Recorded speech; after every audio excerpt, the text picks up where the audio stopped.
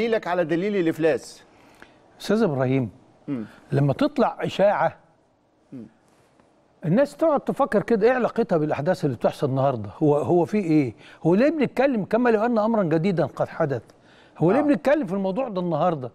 فتكتشف مثلا موضوع مؤمن. مؤمن زكريا. آه. آه. كابتن مؤمن زكريا آه قعد هو ووكيله مع كابتن سعد الحفيظ في شهر 8 بداية الموسم.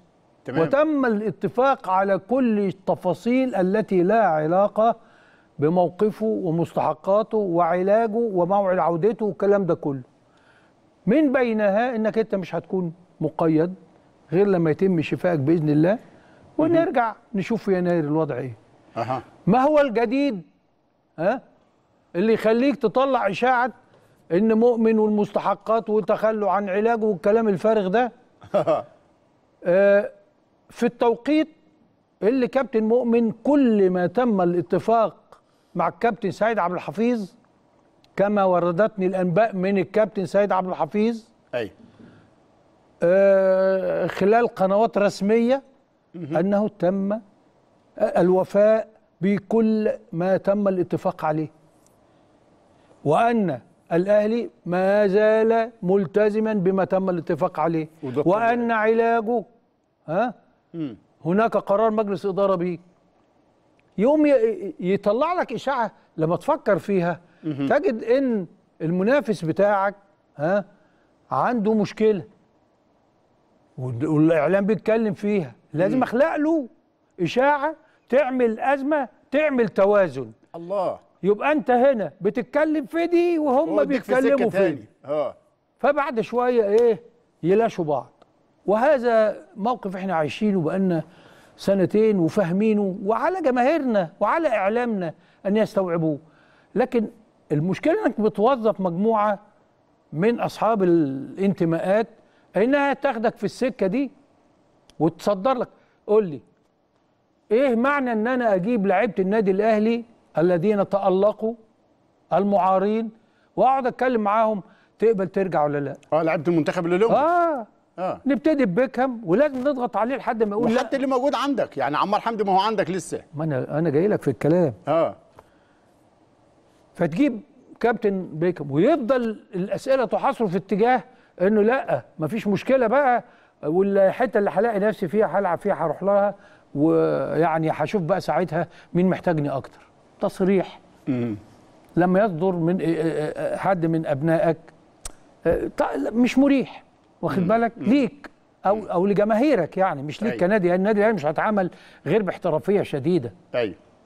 ازاء آه، يعني مصالحه ومستحقاته. طب وأنت كنت عارف عقدك مكتوب في إيه؟ يعني إيه الأسئلة اللي بتطرح دي؟ وفي حد بيمضي عقد ومعاه وكيل. مش عارف هو بيمضي على إيه. مم. طيب انت واثق قوي؟ خلاص. يبقى انت آه، آه، عارف ان محدش هيضرك. ما بتقراش يعني ثقة ممكن. دي حاجة. كل ما لعيب يتألق يعني رمضان بيكم بسم الله ما شاء الله تطور. وهو دي كانت فكرة الاعاره من الأول مع النادي الأهلي. أيوه. وبعدين أنا هاجي لك أصل الموضوع ده مربوط بموضوع مهم جدا. معلش إيه يمكن إحنا في الدردشة الأولانية دي بنفتح كذا لا لا قول. آه. طيب. أجيب بقى عمار اللي اختير في تشكيلة ال- التشكيلة الأمثل في البطولة. نفس الكلام. أنت تحب تط... العكس بقى. تحب تطلع عاره ولا تستنى؟ قال له أنا عايز ألعب. عشان بس الولد ده ذكي شوية. اتعلم بقى من اللي بيحصل قدامه. فيعني كان كلامه رصين. فابتدى يقول والله أصلا أنا نفسي أروح طوكيو. وعايز ألعب عشان أروح طوكيو لكن أنا تحت أمر النادي الأهلي. يتم حصاره.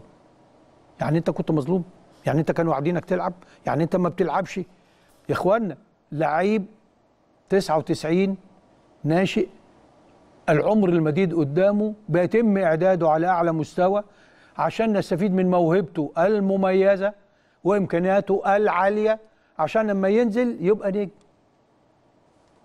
لكن لا نفضل نسأل ونحاصر. وهكذا. يعني يعني النهارده النهارده من غير مثلا في, في, في السياق ده يا باشمهندس. آه. ما هو بعض أو البرامج دي نفسها. ما حدش بيجيب مثلا محمد صبحي ما هو ده حارس المنتخب يعني اللي أحسن حارس في أفريقيا. الله. طب ما أنت ليه ما جبتش غير لعيبه الأهلي؟ طب مصطفى محمد. طب ماذا لو ما لعبتش؟ ما أنت ممكن تسأله السؤال ده. وصبحي أحسن حارس ما وصبحي- بتلعبش. الله. آه. ما هو طبيعي إن في وجود عواد فرص صبحي مش هتبقى كبيرة. وإمام عاشور وغيره وغيره. وإمام عاشور مثلا. آه. لكن لأ. انتقائية مغرضة. آه وفتوح. ممكن تجيبه ما هو معار آه. لو عارض عليك ترجع. لأ. لعيبة الأهلي. وتضغط وتحاصر بالأسئلة وتكرر السؤال وتكرر الإجابة لحد ما تحصل على الإجابة اللي أنت نفسك آه فيها. ده إيه حسابات انتخابية مستمرة؟ مش انتخابية. وفي في بعضها انتخابيه رواسب. وبعضها لأ آه، انتمائية. آه، لا هو هو في ناس عارفة هي بتعمل إيه.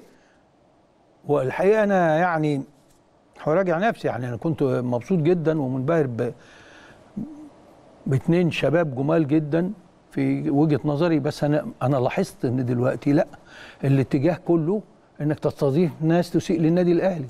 يعني تستضيف آه، الكابتن أحمد سمير فرج ويحكي لك القصة اللي إحنا ردينا آه، عليها. وبعدين في النص يقول كلمة ما حد ما تقفش تسأل وتستغرب وتتقصى إزاي الراجل ده بيتأيد في مارس لنادي الزمالك آه؟ مع إنه باعترافه هو آه، شخصيا هو اللي قال في في يناير لما خدت الجزء اللي. هو فيه سلبية بالنسبة للنادي الأهلي ها وركزت آه. عليها وسبت الباقي آه. مش كده مش كده خلينا- يناير خلوه في مارس عشان فرصة. نحسن الظن عشان كده بقول لك هي هي بتبص تلاقيها طالعة في- أوقات آه تغطي على حاجات تانية. إحنا بقى ليس أمامنا إلا حاجتين مهمين جدا. نشتغل على نفسنا بحيث إن إحنا نقدر نقاوم ها كل الظروف دي. والنقطة الثانية جماهيرنا. لا تستدرج. عشان كده لما بتقول لي قلت لك هو الأهلي مش هيرد في الموضوع هيرد في الاستراتيجية اللي اتفتح بيها الموضوع. لأن انت اول ما تدافع عن نفسك يبقى وقعت في الفخ. صحيح. عشان كده وعشان جمهورنا وعشان الأمر يخص لاعب عنده ظروف مرضية ربنا يا رب يتم شفاعه على خير بإذن الله وكل الجمهور آه، متضامن وداعم نفسيا جدا لمؤمن اللي بنتمنى له يا رب تمام وسرعة الشفاء. كنت بتكلم أنا والمهندس عدلي قبل الهوا تقريبا الحدوتة فيها ثلاث أربع خمس حقائق نتمنى إن هم ما يتوهوش على حد ويخلوا جمهور الأهلي مطمئن جدا. الجزئية الأولانية إن حد يستخدم تعبير الاهلي بعت الاستغنى للاعب في البيت. مؤمن ما كانش مسجل عشان يتبعت له ال- الاستغنى مبدئيا ده دليل الإفلاس أو دليل على دليل الإفلاس اللي المهندس عدلي اشار إليه. دي دي بتبقى إجراء روتيني مع كل اللعيبه أيوه ده إجراء روتيني بالنسبة للقيد. اللائحه بتقول إيه اللعيبة اللي عقودها سارية ومش هتتسجل في القايمة النادي أي نادي ملزم خلال أسبوعين من آخر مباراة في الموسم الماضي يختاروا يختارهم على منزله. أنت مش معايا في القايمة. ده أخطر أحمد حمودي وأخطر هشام محمد وأخطر كل اللعيبة اللي مش هيتم قيدهم في القايمة. وإلا تترتب للاعب حقوق وتترتب على النادي مخالفة قانونية. فالأهلي سليم من الناحية الإجرائية والقانونية. لا وتفهم وتقال له ده متفق عليه. أنا مش هأيدك. دي النقطة الثانية بقى.